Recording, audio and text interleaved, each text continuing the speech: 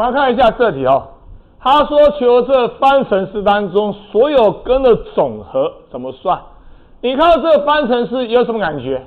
哎，s 平方加四 s，s 平方加四 s 有没有一样？一样吧？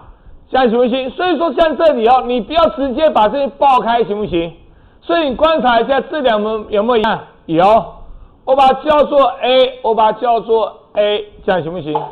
所以说这时候 a 平方减二 a 减十五等于几？零，这样行不行？把因式分解得到 a 减五乘上 a 加三等于零，这两相乘是零。所以 a 等于五，或者是几负三，这样行不行？算出来之后，麻烦你把它带回去求 a，行不行？第一种状况，a 是谁化身？s 平方加四 s 等于几？五，这第一种状况，好不好？第二种状况，a 是谁化身？s 平方加上四 s 等于几？负三，这样行不行？可不可以？可以哈。麻烦你把五移过，好不好？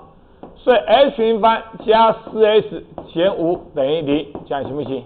之后把它刷起来，因式分解，OK，把它分解成 a 加五乘上 a 减一等于零，所以算出来 a 可以是几？负或者是几？一，这样行不行？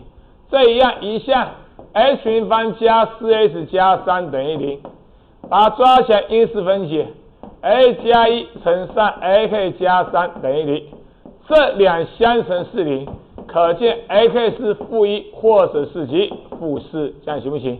所以说，题目问你什么？所有根，抱歉，负一或是几负三，这样行不行？好，写到这边的时候，你观察一下，题目问你什么？他问你所有根的总和，对不对？所以说你观察一下，有几个根？有这四个根，对吧？哈，负一五。还有多少？还有负一，还有负三，这样行不行？所以说，所有根加总起来总和所以是几？负八，OK。